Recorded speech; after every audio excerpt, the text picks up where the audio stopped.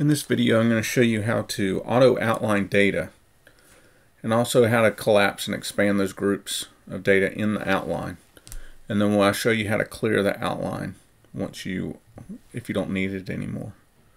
So let's go over to our spreadsheet which is called 09 Critical Care Expense Expenses. Um, if you're in my class you can pull this up and do it with me.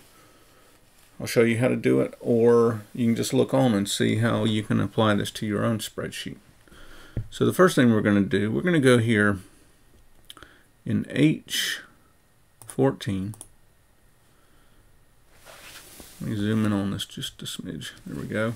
So H14, and I'm going to bold it just so it stands out. And then we're going to auto sum. Click OK. So we're going to add this total here. And then we're going to do the same thing to this. We're going to bold this.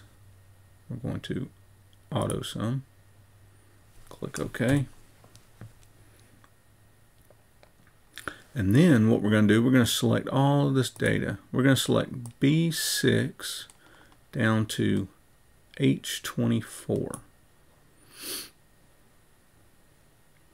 Then we're going to go up here to our data group, go to the outline group or data tab, outline group.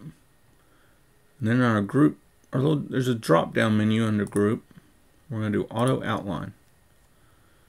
If you notice, this is sort of like what we had done before.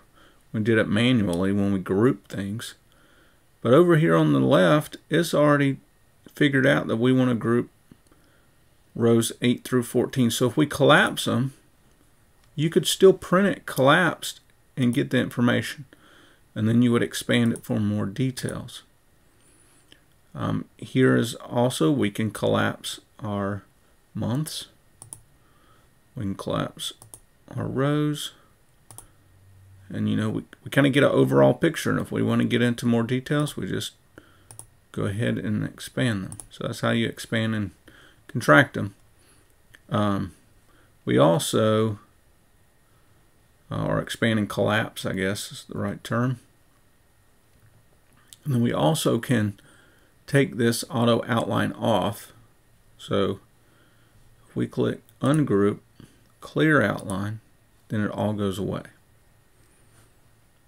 And that's how you auto group or auto outline in Excel.